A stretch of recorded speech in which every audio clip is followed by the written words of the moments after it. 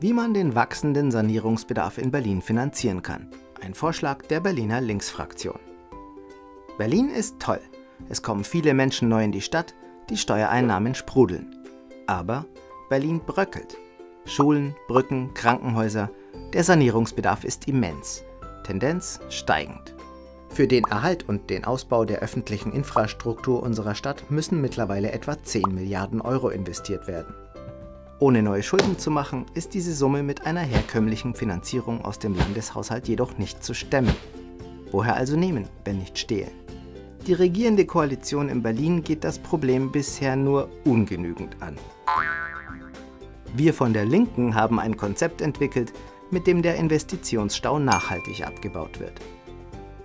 Nehmen wir die Berliner Schulen. Hier wird der Sanierungsrückstand derzeit auf etwa 2 Milliarden Euro geschätzt.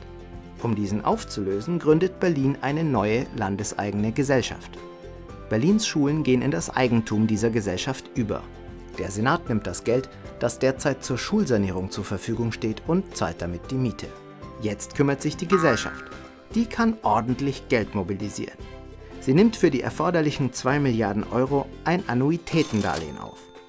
Tilgung und Zinsen stehen da fest und werden aus den jährlichen Mietzahlungen für die Schulen refinanziert. Berlin bleibt von bösen Überraschungen bei der Zinsentwicklung verschont.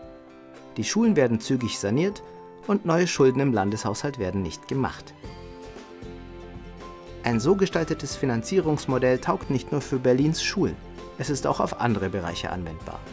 Die öffentliche Hand investiert, das kurbelt auch die Wirtschaft weiter an und Arbeitsplätze entstehen. So haben in Berlin dann alle was davon.